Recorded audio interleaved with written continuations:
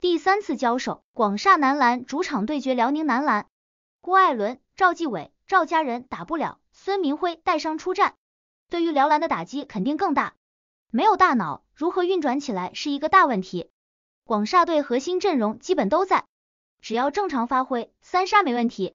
果不其然，广厦队一上来就压着辽宁队打，沃顿进攻犀利，不可阻挡，防守全队发挥，迫使对方出现七次的失误。攻防碾压，一度领先十四分。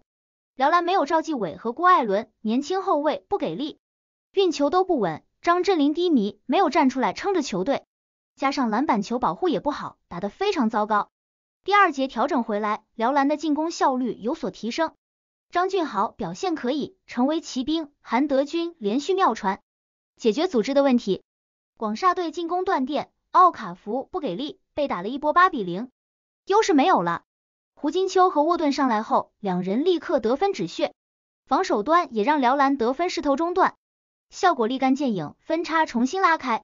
莫兰德强投三分打破得分荒，顶住胡金秋反击杀伤篮下，一己之力止住颓势。张镇麟三分球还是没有啊，浪费非常多的机会，不然就反超了。胡金秋反击快攻得分，段立谦罚篮，张俊豪突破上篮打三分，大帽沃顿。莫兰德又冲起来了，辽篮终于反超比分，四十四比四十三。段立谦掩护犯规，张镇麟三分球终于命中，段立谦三不沾，莫兰德得分，一波十五比四，辽篮四十九比四十四反超广厦。两队各打一节好球，因为很多年轻人，因此非常不稳定。赵继伟和孙铭徽太重要了，没有两人，两队无头苍蝇，打到哪就算哪，就看谁的手感更好。下半场回来，两队打的都不好，磕磕碰碰，不是打铁就是失误，得分非常艰难。两分钟二比二，胡金秋快攻得分，莫兰德掩护犯规，孙铭徽冲击篮筐，广厦队率先找到节奏，比分追了上来。